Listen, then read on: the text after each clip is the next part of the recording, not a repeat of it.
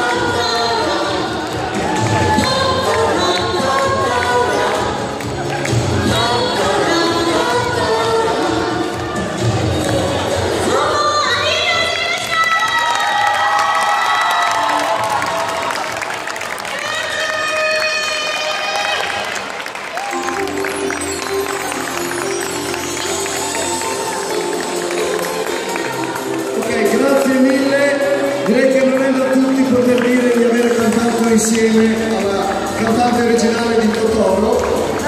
Naturalmente